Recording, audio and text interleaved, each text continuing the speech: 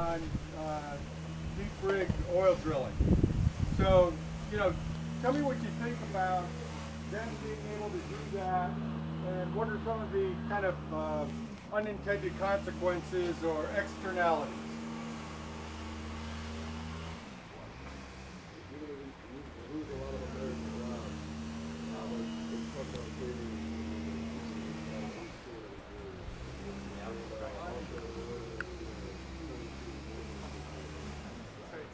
So he's talking about uh, some of the related industries losing jobs, like the catering industry.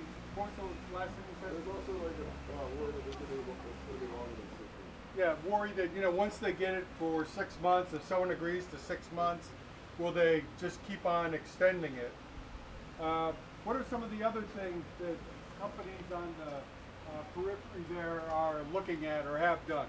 Yeah. I mean, obviously gas prices are going to go up, and depending on how short-term the ban is, then therefore those companies that produce like hybrid and electric cars would obviously benefit because other consumers would start buying those, know, even diesel cars, I guess. Okay, so, you know, less gas being pumped, or less oil being pumped, probably, you know, less gasoline, supply and demand, the price of gas could go up.